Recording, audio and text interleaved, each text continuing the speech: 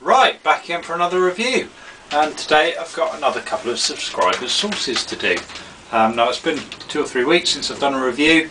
Um, just really, really busy at the moment and finding it hard to find the time to actually sit down and do a video. But anyway, I've got a couple of sauces to try today. They've been in the cupboard for ages and um, I apologise for that. Um, these are from Pete and um, yeah he sent me these um, I believe well towards the end of last year uh, one of these sauces is actually made with some of my pods. Um, so both say extra hot chili sauce. I'm going to start with um, start with this one I guess. Um, really don't know which is going to be the hotter of the two. This is Pete's Lucifer juice. Um, yeah this is extra hot chili sauce. Warning not for the weak or infirm uh, ingredients in this, Naga Jolokia, mango, carrot, bell pepper, onion, garlic, salt, Worcester sauce, sugar, courgette, black pepper, ginger, Jamaican jerk, spice, paprika, Chinese five spice, mustard seed, fenugreek, red, white, wine vinegar and water.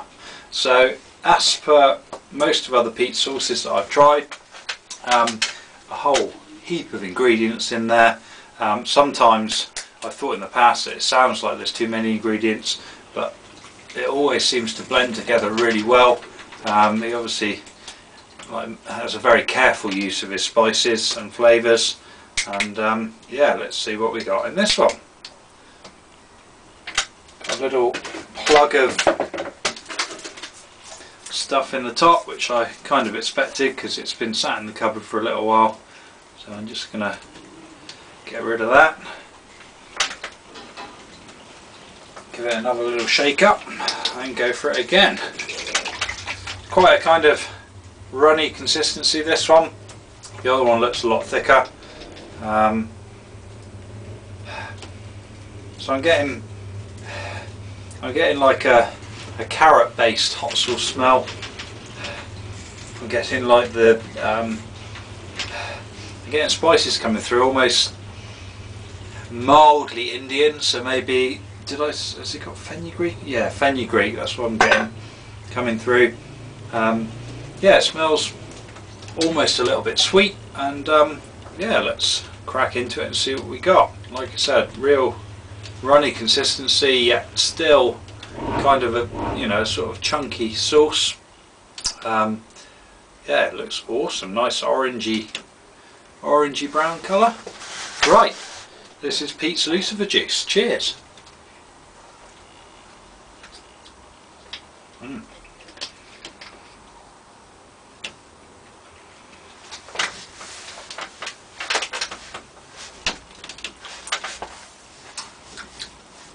Yeah, it's really good. It's kind of um, it's got those chunks and bits and pieces in there, but they all kind of break down in your mouth. Um, really tasty. Quite a lot of flavours going on there. Like I say, I can pick out that the faint kind of curry flavours. I can pick up the Chinese five spice as well, which is a bit unusual because you kind of got Indian and Chinese influences going on there at the same time. There's quite a few other ingredients so I can pick out kind of individually.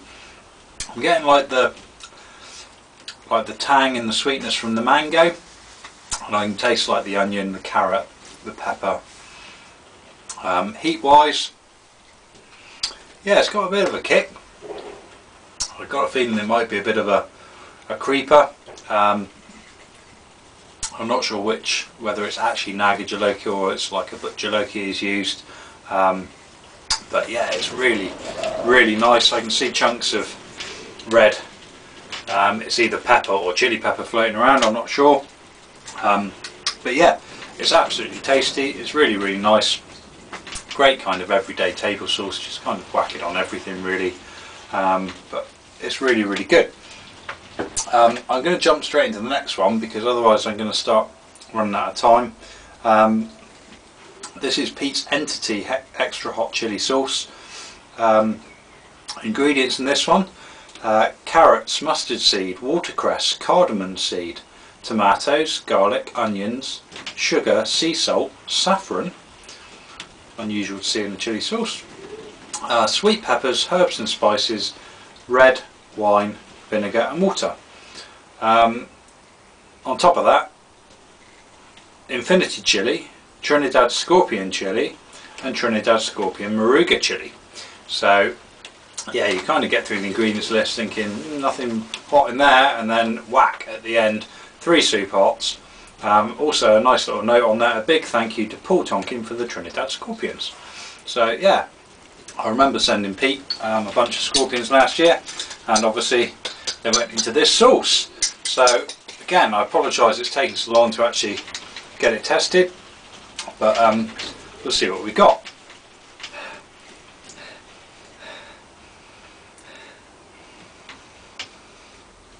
It's um, it's got similar notes to the other one, but it's got maybe like a slightly deeper sort of smell to it. Again, I can smell kind of yeah the cardamom and, and, and spices like that coming through.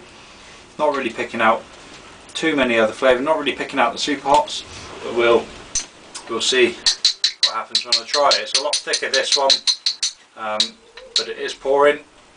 Yeah, there we go. So I can see black pepper and bits and pieces inside there. I can see a few look to be like yeah seeds or spices or something. Um, ooh, okay. So yeah, you can get a nice heaped spoon of this one, and yeah, completely different consistency to the other one. Um, yeah, awesome. Right, this is Pete's Entity Sauce. Cheers.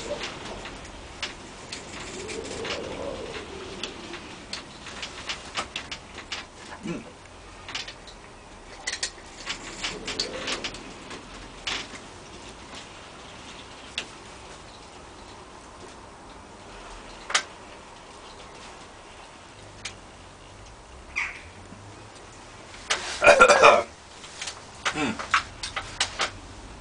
Although it smelled very similar to the other one, the flavour profile is quite different. It's not as sweet as um, the Lucifer juice, and yeah, already it's got a lot more heat than the Lucifer juice. I suspected it might, which is why I saved it till last. You do the hotter one first. Sometimes you don't pick out much in the second sauce. Ah. yeah, that's pretty warm. It's really around the front of my tongue and all around the inside of my lips. It's really whack. It's really, it's like a little blowtorch just lit up in there. So yeah, quite a powerful burn. Like I said, the flavour isn't quite as sweet. Um, I'm picking out quite a quite a few of the spices, um, the mustard kind of coming through, mustard seed, cardamom. Um, I got a feeling the I'm not going to say it's a bitter edge because it's not. It's just not sweet the first one, but I got a feeling the kind of semi-bitter flavour is the watercress coming through, which is quite quite different, quite unusual. Um, adds a bit of a depth of flavour to it, and um, yeah, I don't know what other herbs and spices are in there, but quite a few flavours going on. I think the, the, the first one, the Lucifer juice, a lot more complex in taste. Um, this one's just got yeah a bit of a deeper flavour and um, it's got a decent whack of heat really. I mean don't get me wrong, it's not crazy levels. It's not up there with um, with some sauces you can buy, but that that's got a respectable amount of heat. Um, that's still throbbing away at the front of the mouth.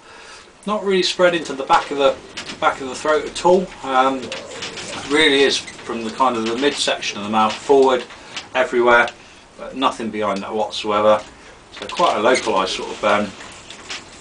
But yeah, certainly three supers in there: Infinity Chili, Trinidad Scorpion Chili, and Moruga Chili. I should have really realised that was going to be a bit of a warm one. Um, but I think, to be honest, it peaked really, it kind of built really quickly, but it peaked really quickly as well. It's not getting any worse anymore. Um, it's just kind of cruising along now. Might have, might have already begun to drop off a little bit, um, but it's actually first time in a while. It's actually made my gums a little bit sore. Um, don't normally get that with sauces, that's normally a pod thing, but yeah, a respectable amount of heat and um, another tasty sauce. Yeah, here we go. So that was Pete's Lucifer Juice and Pete's Entity Extra Hot Chili Sauce. I don't know if these are available at all. Maybe Pete can leave a, a comment um, on the video to say whether any of his sauces are available. Um, but yeah, I absolutely recommend them. I've tried quite a few of his sauces and I haven't had a bad one yet. So awesome. Thanks to Pete for sending those two. And um, sorry they took so long, mate, to get them reviewed, but I said I'd get them done in the end, and I have. Um, yeah, great stuff. Right, thanks for watching, and I'll catch you again very soon. Cheers.